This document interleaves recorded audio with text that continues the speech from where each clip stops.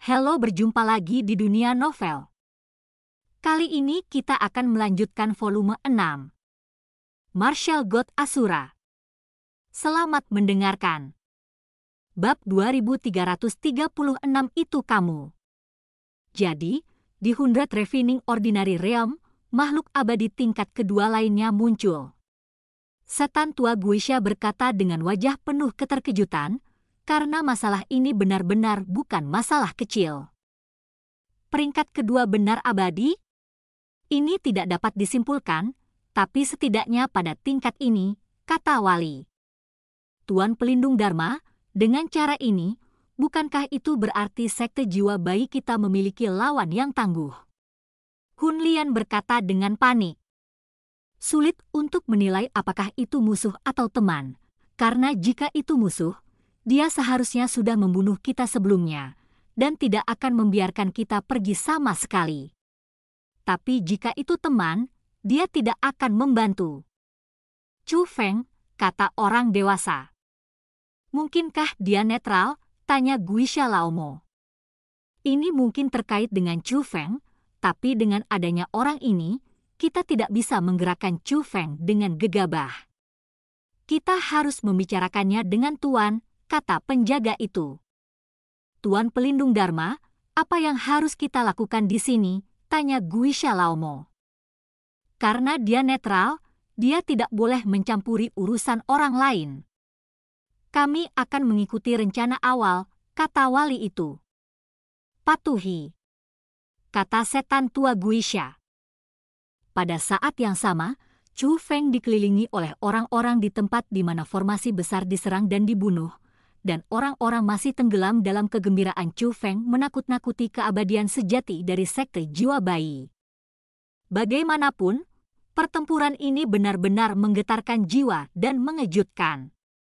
Orang-orang merasa bahwa mereka telah masuk dan keluar dari penghalang hidup dan mati beberapa kali, dan sekarang mereka dapat bertahan hidup berkat Chu Feng. Oleh karena itu, mereka yang berdiri sebelumnya tidak peduli senioritas mereka atau Hizongman, mereka semua berterima kasih kepada Chu Feng saat ini. Adapun orang yang berlutut sebelumnya, dia tidak berani berbicara, dan wajahnya penuh penyesalan. Kakak Chu Feng, kakak Chu Feng. Aku salah, aku salah, beri aku kesempatan, kamu bisa memohon guru untukku. Saya tidak benar-benar ingin bergabung dengan sekte jiwa bayi. Saya hanya ingin hidup karena saya tidak ingin mati. Lagi pula, saya masih memiliki anggota keluarga. Saya adalah harapan keluarga kami. Tiba-tiba, sesosok bergegas, berlutut di depan Chu Feng, dia meraih sudut pakaian Chu Feng. Melihat lebih dekat, itu adalah Kou Kang. Pada saat ini, Kou Kang tidak lagi memiliki kesombongan sebelumnya, berlutut di depan Chu Feng, menangis dengan sedihnya, sangat rendah hati. Kamu mencariku untuk memohon belas kasihan, kamu benar-benar mencari orang yang salah. Chu Feng tersenyum dingin, tanpa sedikit pun simpati di matanya, dia hanya melambaikan lengan bajunya dan mendorong Kou Kang pergi. Kou Kang, kamu bajingan, kamu memfitnah teman kecil Chu Feng seperti itu sebelumnya dan sekarang kamu memohon kepada teman kecil Chu Feng, kamu benar-benar membuangku dari istana bintang tigaku. Istana bintang. Anda adalah pengkhianat, terima kasih kepada Guru Zhang yang telah mengolah Anda selama bertahun-tahun, Anda seperti serigala dan anjing, tidak sebagus babi atau anjing. Sekelompok tetua dari Istana Bintang. Tiga bergegas mendekat dan mengikat Kou Kang dengan erat dengan harta khusus. Mungkin ada kebencian di hati mereka, tapi para tetua ini juga cukup kejam saat menyerang, tidak hanya membuat Kang sengsara, tapi juga membuatnya sengsara. Kou Kang mulai memohon kepada Song Biu dan junior lainnya, tetapi bukannya membantunya, Song Biu dan yang lainnya menolak dan memarahinya. Saat ini, Kou Kang telah jatuh ke dalam nasib mengkhianati kerabat, sungguh menyedihkan. Faktanya, Adegan seperti Kou Kang terus-menerus dipentaskan, dan mereka yang sebelumnya hanya berlutut di hadapan lelaki tua Guisha, untuk menyelamatkan hidup mereka baik-baik saja. Tetapi mereka yang tidak hanya berlutut dan memohon belas kasihan, tetapi juga mempermalukan Chu Feng, berbicara untuk sekte jiwa bayi, dan mengatakan bahwa pembunuhan bayi yang baru lahir harus diterima begitu saja, semua mengalami nasib buruk. Tapi ada sedikit simpati bagi mereka yang dihukum, karena memang mereka melakukannya sendiri. Namun, tidak diragukan lagi bahwa setelah kejadian hari ini, pamor Chu Feng meningkat pesat lagi pula. Mereka yang hadir hari ini bisa dikatakan berasal dari seluruh penjuru dunia, dari semua sekte. Dan mereka tidak hanya melihat bakat menantang surga Chu Feng, tetapi juga melihat kepribadian Chu Feng. Orang-orang ini tidak hanya ingin menghukum orang-orang seperti Kou Kang yang tunduk pada sekte jiwa bayi. Mereka bahkan akan membantu Chu Feng mempublikasikan acara hari ini dan membuat Chu Feng terkenal. Namun, ketika semua orang memuji Chu Feng atas apa yang telah dia lakukan, Chu Feng sudah pergi dari sini. Chu Feng tidak terburu-buru untuk memasuki reruntuhan Grandmaster Kai Hong, tetapi setelah menyadari bahwa Ying Celestial Clan sudah mulai berurusan dengan orang-orang dari Istana Bintang Tiga dan Sunset Cloud Valley, Chou Feng khawatir meninggalkan Sui, Song Biu dan yang lainnya di sini. Oleh karena itu, Chou Feng ingin mengirim Sui dan yang lainnya ke tempat di mana ada ahli dari Tristar Hall atau Sunset Cloud Valley, sehingga mereka bisa lebih aman. Dan kebetulan Sui dan yang lainnya tahu tempat di mana beberapa ahli berkumpul di Sunset Cloud Valley dan Tristar Hall, dan dikatakan bahwa Elder Ning Shuang juga ada di sana. Adapun basis kultivasi tetua Ning Shuang, meskipun dia tidak bisa mengatakan seberapa kuat itu, dia masih leluhur bela diri peringkat lima. Dengan basis kultivasi leluhur bela diri peringkat lima, dia dapat melindungi Sui dan yang lainnya. Jadi Chu Feng akan mengirim Sui dan yang lainnya ke tempat penatuan Ning Shuang berada. Namun, tidak ada yang akan membayangkan bahwa tempat di mana Sunset Cloud Valley dan San Xingdian berkumpul bersama, tempat Sui, Song Biu dan yang lainnya merasa aman, telah jatuh. Itu adalah anggota klan Surgawi Ying. Itu adalah anggota klan Surgawi Ying yang menjebak penatua Ning Shuang dan yang lainnya, tetapi anggota terkuat klan Surgawi Ying bukanlah anggota klan Surgawi Ying, tetapi lebih kuat untuk orang yang akrab. Orang ini tidak hanya memiliki rambut dan janggut emas, tetapi juga memakai mahkota rambut emas, dan kekuatan leluhur bela diri tingkat 6 adalah kunci untuk menekan pembangkit tenaga listrik lembah Luoxia dan San Xingdian. Orang ini tidak lain adalah Taoist Jinsing.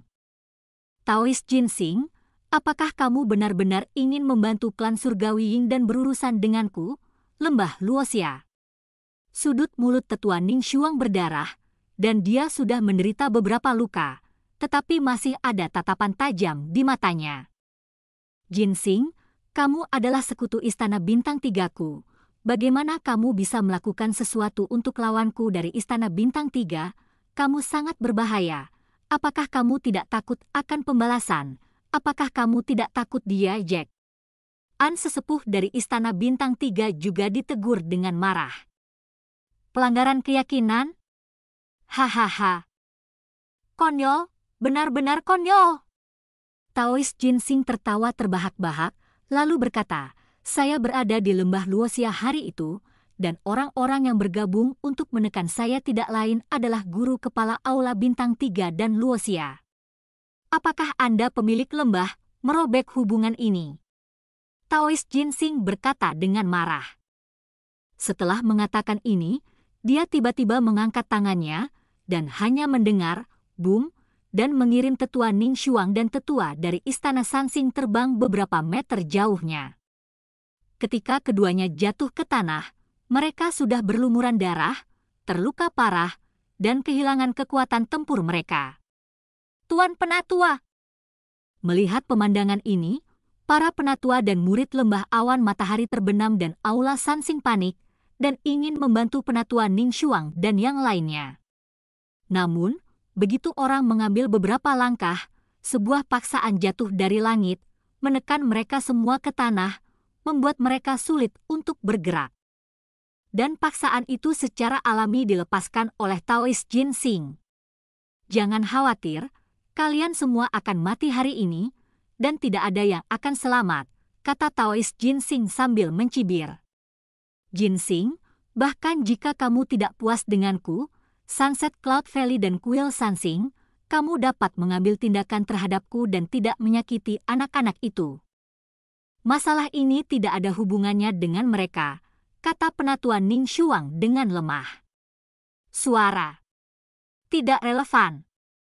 Karena mereka berasal dari lembah Luosia dan kuil Sansing, masalah ini ada hubungannya dengan mereka. Pendeta Tao Jinsing tersenyum dingin, lalu menatap murid-murid lembah Luosia dan kuil Sansing dan berkata, Ingat, kamu akan mati hari ini karena Chu Feng. Jika bukan karena guru kepalamu dan guru lembah yang bersikeras memutuskan hubungan denganku karena Chu Feng itu, kamu tidak akan berakhir seperti ini hari ini. Jadi, bahkan jika aku membunuh kalian semua, jangan membenciku. Jika kamu ingin membenci, bencilah Chu Feng itu. Kematianmu semua berkat dia. Ketika pendeta Tao Jinsing selesai berbicara, dia tiba-tiba mengangkat kepalanya tangan, niat membunuh yang mengamuk juga terpancar keluar. Pada saat ini, tidak peduli apakah itu orang-orang dari Sunset Cloud Valley atau Tristar Hall, mereka semua menutup mata, karena mereka merasakan niat membunuh yang dilepaskan oleh Taois Jinsing, mereka tahu bahwa mereka pasti akan mati hari ini. Taois Jinsing, saya khawatir saya akan mengecewakan Anda. Hari ini, anda tidak dapat membunuh orang dari istana Sansing dan lembah awan matahari terbenam. Tetapi pada saat ini, sebuah suara tiba-tiba terdengar. Pada saat yang sama, kekuatan lembut tiba-tiba turun dari langit, yang mematahkan tekanan Venus dan memungkinkan orang-orang di Sunset Cloud Valley dan Kuil Sansing mendapatkan kembali kebebasan mereka. Taois Jinsing terkejut dengan pemandangan yang tiba-tiba ini, dan segera melihat ke arah dari mana suara itu berasal. Dan ketika dia melihatnya, ekspresinya berubah drastis, dan dia berseru, ternyata kamu. Bab 2337 Karakter Kejam Siapa? Siapa yang menyelamatkan kita? Pada saat ini, semua orang di Sunset Cloud Valley dan Istana Sansing mengangkat kepala dan melihat ke arah langit dengan keraguan. Mereka semua ingin melihat siapa yang begitu suci, siapa yang dapat menekan Taois Jinsing dan menyelamatkan hidup mereka. Itu dia. Ketika mereka melihatnya, hampir semua orang yang hadir tercengang dan sangat terkejut. Karena orang ini tidak memenuhi harapan mereka. Dia bukan orang kuat dari Sunset Clouds Valley atau orang kuat dari Tristar Hall.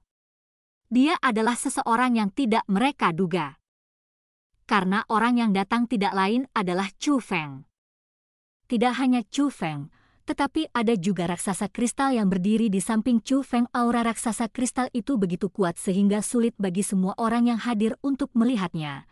Tetapi tidak ada keraguan bahwa itu adalah kekuatan dari raksasa kristal yang menekan Taois Jinsing, leluhur bela diri tingkat enam yang bermartabat.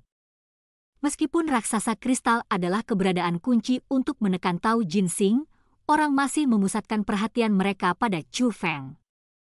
Karena, tidak peduli seberapa perkasa, tirani, atau tak terduga raksasa kristal itu, itu lebih terlihat seperti boneka, lebih seperti penjaga.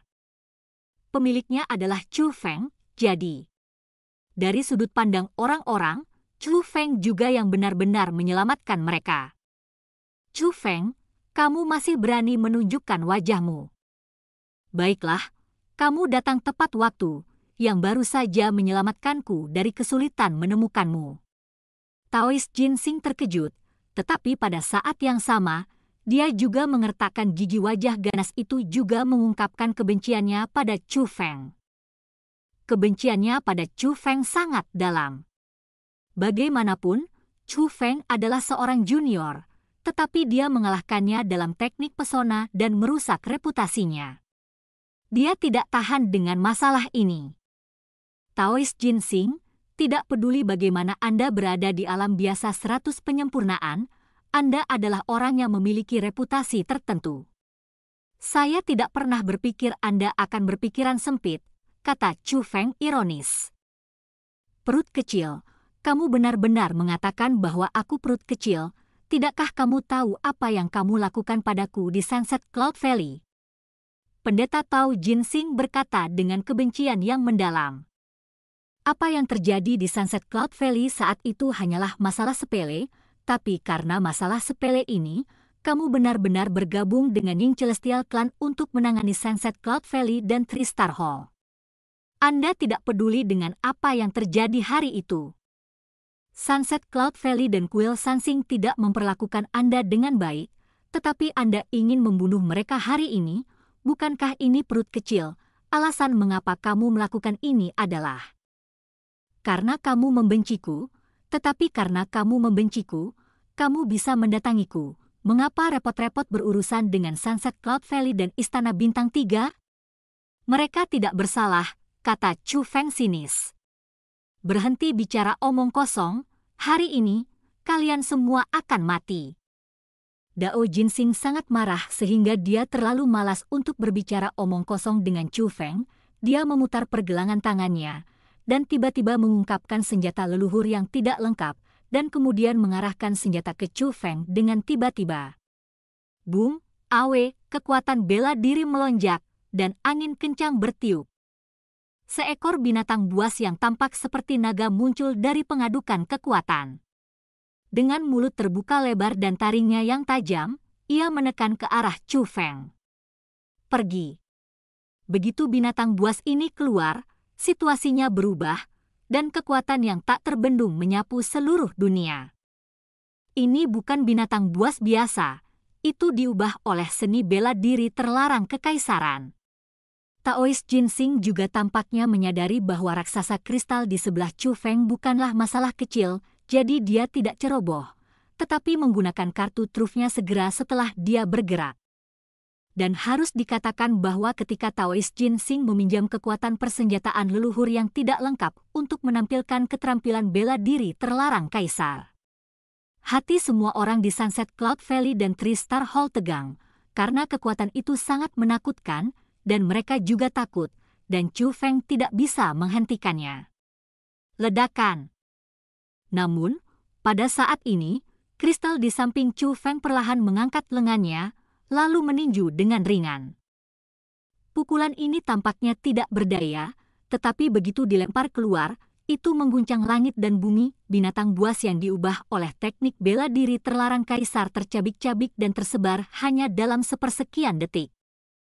Ini, pada saat ini, orang-orang di Sunset Cloud Valley dan Istana Sansing menyadari bahwa mereka terlalu banyak berpikir. Chu Feng, raksasa kristal, terlalu kuat. Saat itu bergerak, orang-orang menyadari bahwa tidak peduli seberapa kuat Taoist Jinsing, akan sulit untuk menyakiti Chu Feng, karena kekuatan raksasa kristal itu pasti jauh di atas. Itu dari Taoist Jinsing. Bagaimana mungkin ada keberadaan yang begitu kuat di sisi Chu Feng? Apa asal-usul Chu Feng ini? Kekuatan raksasa kristal membuat orang semakin yakin bahwa latar belakang Chu Feng luar biasa. Kalau tidak, bagaimana mungkin ada menjadi eksistensi yang begitu kuat, menjaga Chu Feng seperti seorang penjaga? Namun saat ini, jika dikatakan bahwa hal yang paling rumit di hatinya adalah murid Sunset Cloud Valley, Nama orang ini adalah Jiang Hao, dan Jiang Hao ini menyukai Sui karena Sui baik kepada Chu Feng, jadi ketika dia berada di luar Gunung Yunhe, dia mempersulit Chu Feng berkali-kali dan bahkan ingin membunuh Chu Feng. Pada saat itu, dia merasa bahwa Chu Feng adalah karakter kecil, jadi dia secara alami tidak mengambil hati Chu Feng. Tapi sekarang, dia harus memeriksa kembali Chu Feng. Faktanya, dia sudah sedikit takut. Dia menyadari bahwa Chu Feng bukanlah karakter kecil, tetapi pria besar yang tidak mampu dia provokasi. Mengingat apa yang dia lakukan pada Chu Feng saat itu, bagaimana mungkin dia tidak takut? Sialan. Sementara semua orang memikirkan latar belakang Chu Feng, Taois Jinsing berbalik dan melarikan diri. Pada saat yang sama, anggota klan surgawi Ying tidak berani tinggal. Satu persatu, Mereka bersembunyi di kehampaan, berjalan di tanah, atau terbang ke langit, mencoba melarikan diri dari sini dengan segala cara. Hum. Namun, aku melihat mata kristal itu berkedip-kedip, dan segera setelah lampu merah muncul, gelombang tak terlihat tersapu. Aduh! Ya Tuhan! Saat berikutnya, baik Taois Jinsing dan semua orang dari klan surgawi yang kembali ke posisi mereka sebelumnya, tetapi pada saat ini, mereka tidak lagi berdiri, tetapi semua berbaring di tanah. Jika kamu tidak bisa membunuh seseorang, kamu ingin melarikan diri. Bagaimana bisa ada hal yang begitu baik di dunia ini? Chu Feng memandang kerumunan dan berkata dengan senyum tipis. Chu Feng, apa yang ingin kamu lakukan? Pendeta Tao Jinsing berteriak bersama dengan semua orang dari klan Surgawi Ying. Apa yang aku lakukan?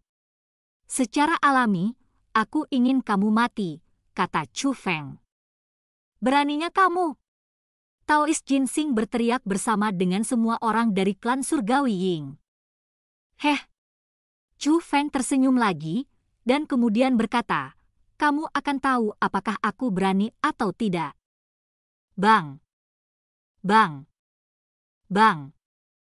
Bang! Tapi saat Chu Feng selesai berbicara, suaranya terdengar membosankan. Terus terdengar, dan saat suara teredam bergema, pendeta Tao Jinsing dan semua orang di klan surgawi Ying juga meledak sampai mati, berubah menjadi air berdarah. Chu Feng mengulurkan tangan dan mengambil tas alam semesta Tao Jinsing dan semua orang dari klan surgawi Ying, dan memasukkannya ke dalam tasnya. Melihat ke bawah, Chu Feng menemukan bahwa reaksi para tetua Sunset Cloud Valley dan Samsung Hall cukup bagus, tetapi para murid itu sedikit takut. Mereka takut bukan karena mereka belum pernah keluar dari ancaman Tao Jinsing sebelumnya, tetapi karena Chu Feng membunuh Tao Jinsing dan anggota Ying Celestial Clan dengan begitu enteng. Lagi pula, bagaimanapun juga, itu adalah ribuan nyawa, dan banyak dari mereka adalah generasi tua yang telah berlatih selama bertahun-tahun. Oleh karena itu, meskipun mereka semua merasa bahwa orang-orang itu harus dibunuh, mereka tidak dapat menahan perasaan kagum dan takut terhadap Chu Feng. Bagaimanapun, mereka yang bisa melakukannya adalah karakter yang benar-benar kejam. Dan tidak ada keraguan bahwa Chu Feng telah menjadi karakter yang kejam di hati mereka. Kekejaman seperti ini bukanlah sesuatu yang dimiliki junior seperti mereka. Bab 2338 Bahaya Reruntuhan Adapun Chu Feng, dia tidak peduli apa yang orang lain pikirkan tentang dia, karena dalam pandangan Chu Feng, jika dia tidak tiba tepat waktu hari ini, orang-orang dari Sunset Cloud Valley akan mati. Jika dia tidak dijaga oleh raksasa kristal, bahkan dia akan mati. Bagi mereka yang ingin membunuhnya, Chu Feng tidak pernah dibiarkan hidup. Alasannya sangat sederhana, dalam pandangan Chu Feng, siapa pun yang ingin membunuhnya layak mati. Tetua Ning Shuang! Tuan Tetua! Setelah itu, beberapa sosok terbang keluar dari kehampaan. Mereka adalah Sui, Song Biu, dan lainnya. Faktanya, mereka sudah lama datang, tetapi mereka bersembunyi di kehampaan dan tidak muncul, dan orang tidak dapat mendeteksi keberadaan mereka, jadi Zhao Hong yang menggunakan trik. Setelah Sui, Song Biu dan yang lainnya mendarat, mereka menjadi satu dengan Sunset Cloud Valley dan orang lain di Tristar Hall. Orang-orang yang ada di sini memberi tahu Sui dan yang lainnya tentang bahaya yang mereka temui sebelumnya, dan Sui dan yang lainnya mulai memberitahu orang-orang ini tentang apa yang terjadi pada Chu Feng, Sekte Jiwa Bayi dan yang lainnya sebelumnya. Dan ketika orang-orang di sini mengetahui bahwa Chu Feng sebelumnya menggunakan kekuatan formasi yang menentang surga untuk mengalahkan iblis tua Guisha yang terkenal, dan bahkan menggunakan senjata ajaib untuk menakut-nakuti Ratu Abadi yang sebenarnya. Semua orang memandang Chu Feng, dan tiba-tiba ada perubahan besar. Jika kita mengatakan bahwa banyak murid Samsung Palace dan Sunset Cloud Valley, mereka menyembah orang tua mereka, atau tuan mereka, atau kepala sekolah mereka. Jadi pada saat ini, banyak dari mereka menggantikan orang yang mereka kagumi dengan Chu Feng. Lagi pula, apa yang dilakukan Chu Feng adalah sesuatu yang tidak bisa dilakukan oleh orang tua mereka, tuan mereka, dan kepala sekolah mereka. Terlebih lagi, Chu Feng masih junior seperti mereka, yang membuat kekaguman dan kekaguman mereka terhadap Chu Feng melampaui yang lainnya. Namun, pada saat ini, suasana hati Jiang Hao menjadi semakin rumit, lagi pula, dia telah melakukan begitu banyak hal berlebihan pada Chu Feng sebelumnya, dan bahkan ingin membunuh Chu Feng. Pada saat ini, dia benar-benar menyesalinya jika dia tahu betapa kuatnya Chu Feng, dia tidak akan berani mempersulit Chu Feng jika dia memberinya seratus keberanian saat itu. Namun, Tepat ketika Jiang Hao khawatir tentang apakah Chu Feng akan membalasnya, Chu Feng tidak mengambil hati sama sekali. Sebaliknya, dia berbicara dengan penatua Ning Shuang dan mengatakan tujuannya datang ke sini. Chu Feng, kamu benar-benar berencana untuk memasuki reruntuhan. Penatua Ning Shuang sangat terkejut ketika mengetahui bahwa Chu Feng akan memasuki reruntuhan. Bahkan ada kekhawatiran yang mendalam di matanya. Kenapa? Tidak bisakah kamu memandang rendah kami? Zhao Hong berkata dengan sedikit ketidaksenangan. Tidak, lelaki tua itu tidak bermaksud begitu. Penatua Ning Shuang tahu bahwa Zhao Hong dan Wang Qiang adalah teman Chu Feng, jadi dia tidak ingin menyinggung perasaannya, jadi dia buru-buru menjelaskan sambil tersenyum. Lalu apa arti ekspresi terkejutmu? Zhao Hong bertanya dengan tegas. Teman-teman, jangan salah paham. Bukannya aku meremehkanmu. Hanya saja reruntuhannya sangat berbahaya dan sangat sulit dipahami. Di sini, kami menunggu Yi dan yang lainnya bergabung dengan kami, jadi kami bersiap untuk mengungsi di sini, kata penatua Ning Shuang. Hei, tidak, tidak. Jangan sembunyikan dari senior, yang paling kita paling tidak takut adalah bahaya, kata Wang Qiang dengan wajah bangga. Jika kamu benar-benar ingin masuk, aku yakin aku tidak akan bisa menghentikanmu, tapi bagaimanapun juga, aku telah memasuki reruntuhan di lembah Luosia, dan aku masih tahu sesuatu tentang reruntuhan itu. Maukah kamu mendengarkan? Tetua Ning Shuang berkata.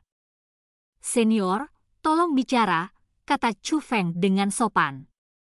Menurut apa yang saya tahu, empat faksi kelas 1, Gerbang Pedang-Pedang Abadi, Kuil Foguang, Klan Surgawio, dan Klan Surgawi Kong telah mengirim para ahli di puncak leluhur bela diri untuk bergegas ke tempat terdalam dari reruntuhan. Adapun kuil Ifo Guangtian, ada pembangkit tenaga listrik tingkat abadi yang nyata.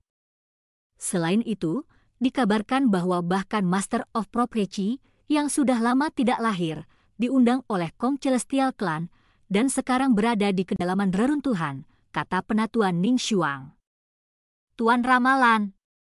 Mendengar kata-kata ini, banyak orang yang hadir terkejut karena mereka masih belum tahu banyak tentang situasi di reruntuhan. Siapa ahli ramalan ini? Chou Feng bertanya dengan rasa ingin tahu, karena dari reaksi semua orang, Chu Feng dapat melihat bahwa ahli ramalan ini tampaknya memiliki latar belakang yang hebat, dan dia adalah orang yang sangat istimewa. Nubuatan Master adalah seorang dewa manusia di alam biasa seratus pemurnian saya. Dia dapat memprediksi banyak hal, dan hampir semua hal yang dia prediksi telah menjadi kenyataan sejauh ini, sangat sulit untuk mengundangnya pada hari kerja. Saya percaya bahwa Kong Celestial Clan menghabiskan banyak uang untuk mengundang master ramalan kali ini. Ada begitu banyak orang kuat dari dunia, dan mereka semua memasuki reruntuhan. Tapi sejauh ini, tampaknya masih belum ada keuntungan, dan dikatakan bahwa orang kuat abadi yang sebenarnya dari kuil Foguantian telah terluka parah dan telah dikirim ke reruntuhan. Meninggalkan tempat ini, hidup dan mati tidak diketahui. Kata penatuan Ning Shuang ahli abadi sebenarnya dari kuil Foguangtian benar-benar terluka? Dan hidup dan matinya masih belum diketahui. Organ di reruntuhan itu sangat kuat. Tanya Chu Feng ingin tahu. Saat menghadapi keabadian sejati dari sekte jiwa bayi, Chu Feng juga melihat kekuatan keabadian sejati. Orang yang begitu kuat sebenarnya terluka parah, bahkan nyawanya dipertaruhkan. Ini sepenuhnya menunjukkan bahaya reruntuhan. Ini membuat Chu Feng harus memeriksa kembali tingkat bahaya reruntuhan. Itu bukan disebabkan oleh agensi, dikatakan bahwa itu dilukai oleh seseorang, kata penatua Ning Shuang. Apa? Dia sebenarnya dilukai oleh seseorang. Siapa pun yang bisa melukai makhluk abadi sejati pastilah makhluk abadi sejati. Siapa yang melakukannya? Pada saat ini, semua orang menebak. Tidak ada yang tahu siapa yang melakukannya, mereka hanya tahu bahwa orang itu sangat kuat, tetapi yang pasti adalah bahwa orang itu bukan orang kelas satu, tetapi orang yang tidak diketahui asalnya. Dikabarkan bahwa orang itu sama sekali bukan manusia, tetapi monster humanoid dengan rambut merah di sekujur tubuhnya, kata tetua Ning Shuang. Monster? Monster yang bisa mengalahkan makhluk abadi sejati? Ya Tuhan, aku tidak menyangka reruntuhan itu begitu berbahaya. Tetua, ayo pergi dari sini.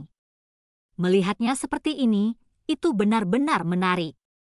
Namun, saat yang lain ketakutan, mulut Zhao Hong meringkuk menjadi senyuman antisipasi. Tidak hanya Zhao Hong yang seperti ini, Wang Qiang juga seperti ini. Adapun Chu Feng, meskipun dia tidak menunjukkan banyak harapan, tidak ada jejak ketakutan di wajah Chu Feng. Melihat ekspresi Chu Feng dan tiga lainnya, Ning Shuang menggelengkan kepalanya, dia tahu kata-katanya sia-sia. Awalnya, dia ingin menyampaikan hal-hal ini kepada Chu Feng dan yang lainnya, agar mereka takut akan hukuman, agar tidak memasuki reruntuhan. Tapi melihatnya sekarang, kata-katanya ini tidak hanya membuat takut Chu Feng dan yang lainnya, tetapi juga meningkatkan minat mereka. Pada saat ini, Tetua Ning Shuang tidak punya pilihan selain menyesali bahwa kejeniusan benar-benar tidak dapat dinilai oleh mentalitas orang biasa. Chu Feng, belum terlambat, ayo pergi sekarang, kata Zhao Hong dengan tidak sabar. N. Chou Feng mengangguk, dan kemudian mengucapkan selamat tinggal kepada penatua Ning Shuang, Sui dan yang lainnya. Setelah mengucapkan selamat tinggal, Chu Feng ingin segera pergi ke reruntuhan bersama Zhao Hong dan Wang Qiang. Namun, pada saat ini, sesosok tiba-tiba keluar dari antara para murid dan datang ke depan Chu Feng. Saat orang ini muncul, ekspresi Sui dan tetua Ning Shuang sedikit berubah. Karena mereka tidak hanya mengenalnya, tetapi bahkan Chu Feng pun mengenalnya. Orang ini adalah Jiang Hao, Bab 2339 Ahli Nubuat Jiang Hao, apa yang akan kamu lakukan? Sui berteriak dengan tidak senang. Jiang Hao, jangan main-main, mundur. Pada saat yang sama, tetua Ning Shuang juga mencibir. Hari itu, di kaki Gunung Yunhe, ketika Jiang Hao mempersulit Chou Feng, Sui dan penatua Ning Shuang hadir. Oleh karena itu, Ketika Jiang Hao melangkah maju saat ini hari ini, penatua Ning Shuang dan Sui sangat khawatir, takut Jiang Hao akan mempersulit Chu Feng lagi. Lagi pula, hari ini tidak seperti dulu lagi, dan hubungan antara Sunset Cloud Valley dan Chu Feng sudah sangat baik. Meskipun dia tahu bahwa Jiang Hao saat ini jauh dari lawan Chu Feng, tetapi Jiang Hao berasal dari Sunset Cloud Valley. Baik Sui dan Elder Ning Shuang sangat takut bahwa Jiang Hao akan mengatakan sesuatu yang tidak menyenangkan, yang akan mempengaruhi pandangan Chu Feng tentang Sunset Cloud Valley. Ini. Namun, ketika Sui dan penatua Ning Shuang melihat lebih dekat, ekspresi mereka berubah lagi.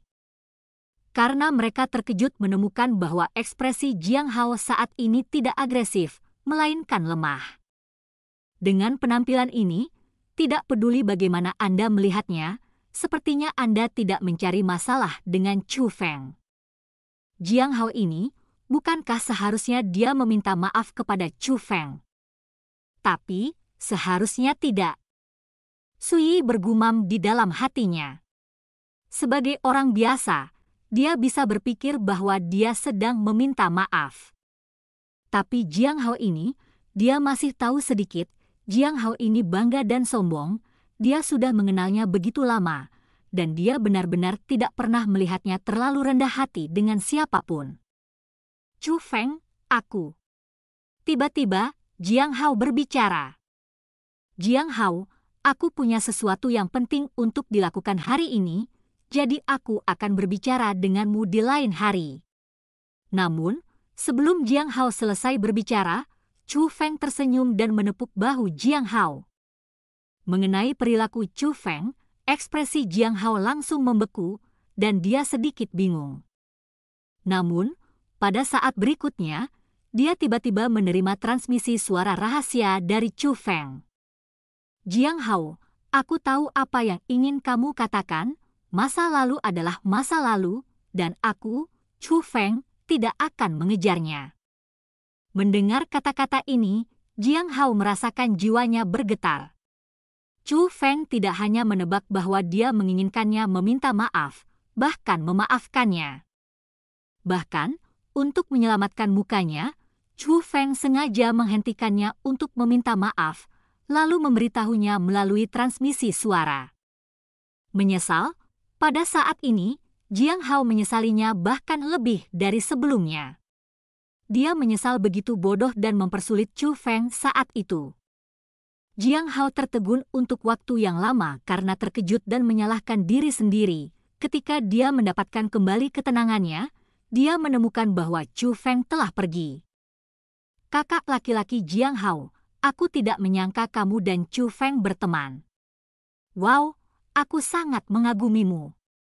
Kakak laki-laki Jiang Hao, kamu hanyalah idolaku. Pada saat ini, murid-murid lembah Luoxia dan San Xingdian telah mengepung Jiang Hao, memandang Jiang Hao itu benar-benar penuh dengan pemujaan dan rasa hormat.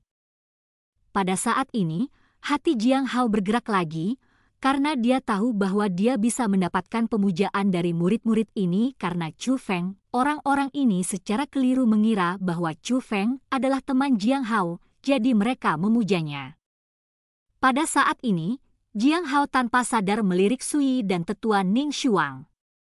Mereka berdua membalasnya dengan senyum tipis.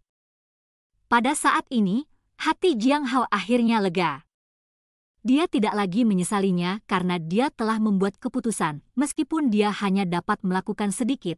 Mulai hari ini dan seterusnya, dia akan mendukung Chu Feng. Tidak peduli apakah Chu Feng mengetahuinya atau tidak, dia tidak akan membiarkan siapa pun mengatakan tidak kepada Chu Feng di depannya. Karena dia secara pribadi menyaksikan karakter Chu Feng, antara lain, pikiran Chu Feng adalah apa yang dia kagumi. Chou Feng tidak menyadari perubahan di hati Jiang Hao. Pada saat ini, Chu Feng, Wang Qiang, dan Zhao Hong dengan cepat menuju ke reruntuhan, dan jarak antara mereka dan reruntuhan sudah sangat dekat. Namun, di bagian terdalam reruntuhan, pemandangan lain terjadi. Mereka yang berkumpul di sini bisa dikatakan berada di Hundred Refining Ordinary Realm dengan beberapa tokoh terkenal dan prestise. Sword Immortal Sect, Evo Guangtian Temple, Kong Celestial Clan, Yo Celestial Clan, dan empat kekuatan terkuat yang diakui oleh Hundred Refining Ordinary Realm berkumpul di sini. Di antara mereka, ada banyak orang kuat di puncak Martial Ancestor. Selain master dari empat kekuatan kelas satu ini, ada juga beberapa eksistensi kuat yang bukan milik kekuatan mana pun. Secara alami, itu juga termasuk ibu dari empat kaisar formasi roh.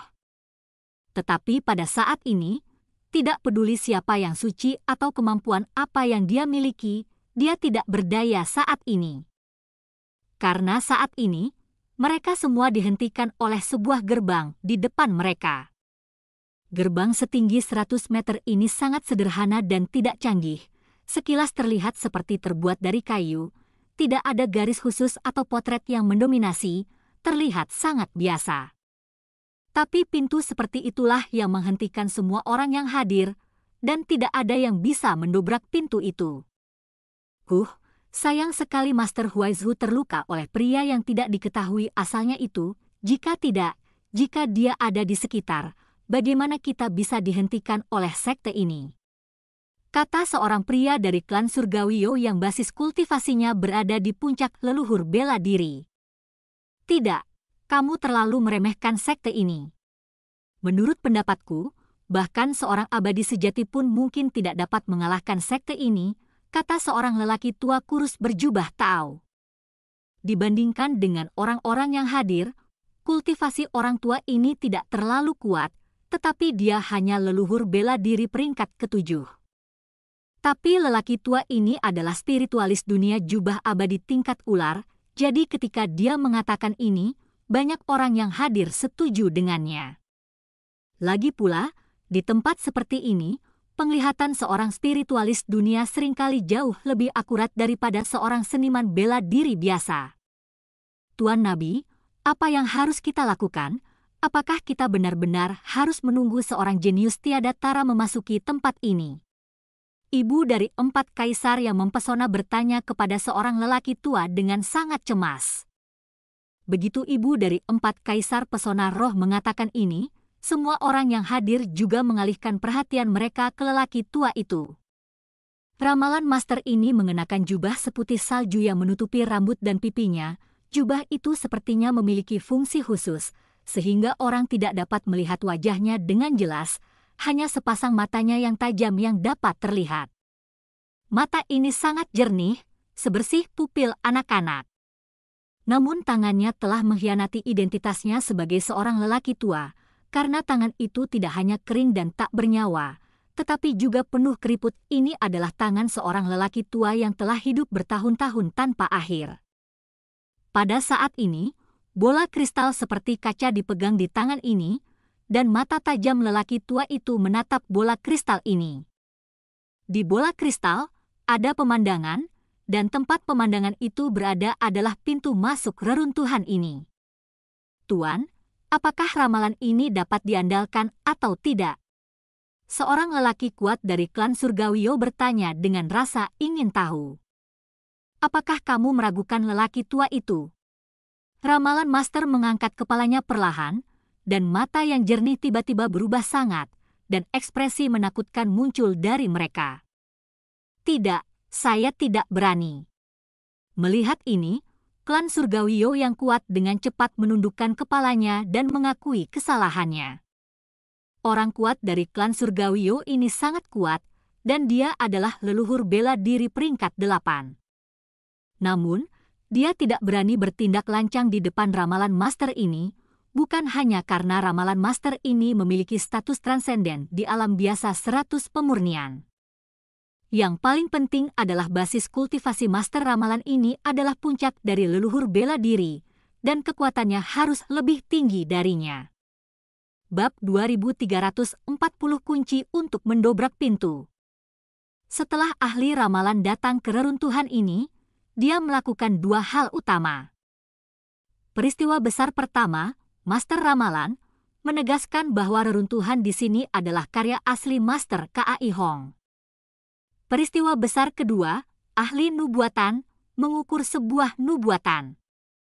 Dia meramalkan bahwa relik guru Kai Hong hanya akan berubah setelah seseorang dengan takdir pertemuan memasukinya. Kalau tidak, Bahkan jika orang lain memiliki kekuatan dan sarana melawan langit, akan sulit untuk mendapatkan jejak warisan Master KAI Hong. Dan yang disebut takdir pertemuan itu sama sekali bukan orang yang menganggur, di masa depan, dia akan mengacaukan situasi di alam biasa seratus perbaikan ini dan membuat semua orang kuat di segala arah takut padanya tanpa henti. Namun, untuk ramalan ini, orang-orang yang hadir tidak begitu mempercayainya.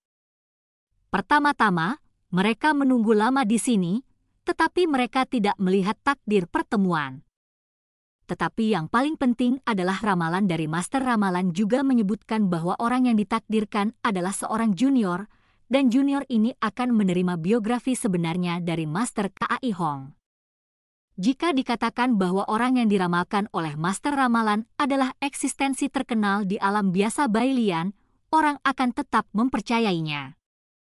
Tapi bagaimana mungkin untuk junior belaka? Meski sejauh ini, mereka belum mendapatkan jejak warisan dan harta karun di reruntuhan Master Kaihong. Tetapi mereka dapat dengan jelas melihat bahaya di sepanjang jalan. Meskipun institusi itu dihancurkan oleh mereka, mereka dapat memulihkannya. Bagaimana mungkin para junior bisa masuk? Aku tahu kamu meragukan Pak Tua itu, tapi kamu jangan pernah meragukan ramalan bola kristalku. Karena sejauh ini, petunjuk yang diberikan kepadaku oleh bola kristal ini benar. Itu bisa melihat ke langit dan mengetahui masa depan. Materi, kata Master Ramalan, melihat bola kristal di tangannya. Setelah mengatakan ini, Master Ramalan mengarahkan pandangannya pada apa yang disebut bola kristal ramalan, menatap tajam ke gambar di dalam bola kristal ramalan.